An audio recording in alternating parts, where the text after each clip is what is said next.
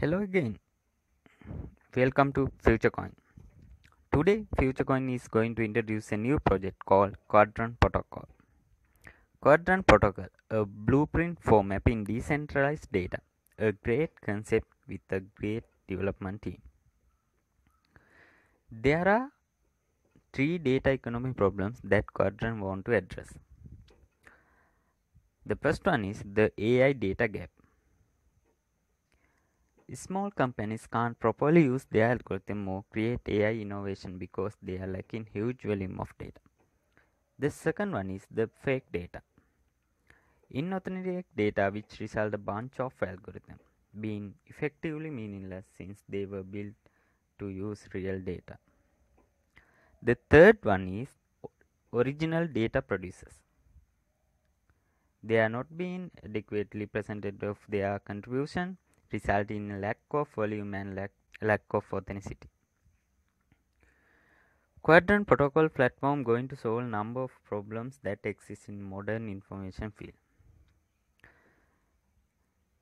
The lack of authentication.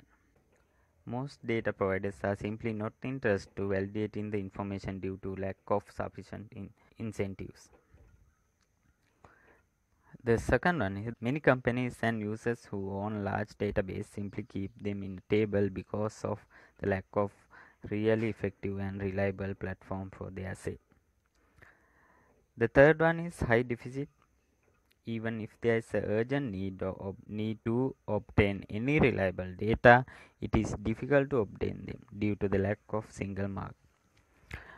The Quadrant protocol solves quite urgent problems that affect many areas of those activity. Let's discuss about the quadrant protocols tokens. There are two types of token they are going to introduce. E-quad and quad. Both tokens are built on Ethereum blockchain in accordance with ERC20 standard. E-quad token will be sold at the token sale stage in the future through a special gate. They can be changed to main quad tokens. The Quadrant Protocol project starts a very important problem of modern technology, the lack of a reliable data market. Therefore, this will successfully. When we look at Quadrant Protocol team, it is obvious that they are high skill persons. You can find more details by following their LinkedIn profiles. I think this is for to invest.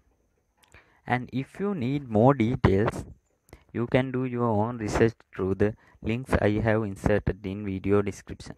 Please go through them. And if you have any question, feel free to contact Quadrant Protocol team through those links. Also, Welcome to us any question in Quadrant Protocol video comment section and our team will answer you as soon as possible. Let's meet again with another future coin review. Have a great day.